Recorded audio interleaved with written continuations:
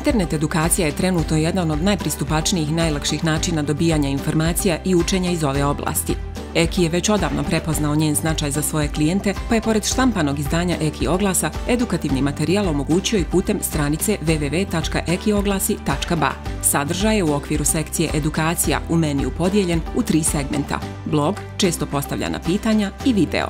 Blog predstavlja pravu riznicu korisnih tekstova iz oblasti internet edukacija, energetska efikasnost, savjeti stručnjaka, finansijska edukacija, EPK portal i drugih. U okviru kategorija članaka možete da odaberete onu koja vas zanima, nakon čega će se učitati svi članci koji joj pripadaju. Često postavljana pitanja obuhvataju odgovore na veliki broj postavljenih pitanja od strane članova Eki poslovnog kluba. Video predstavlja galeriju kvalitetnih video uputstava o korištenju naše dvije internet stranice www.eki.ba i www.ekioglasi.ba, kao i mnoga druga video uputstva o uslugama koje Eki pruža svojim klijentima. Svi posjetioci stranice Eki oglasi.ba imaju priliku da putem sekcije edukacija dobijaju informacije i savjete stručnjaka. U pitanju je jedna od najvećih online kolekcija edukativnih sadržaja na našim prostorima, koji obiluju korisnim informacijama koje preduzetnicima i obrtnicima mogu koristiti u njihovom poslu, njegovom proširenju i jačanju. Važno je napomenuti da se sadržaj u ovoj sekciji redovno ažurira i da je dostupan svim posjetiocima. Sadržaj se jednako dobro prikazuje na svim uređajima koji imaju internet konekciju, omogućavajući vam pristup korisnom materijalu za edukaciju u vrijeme kada želite, imate vremena i kada vam je to zgodno.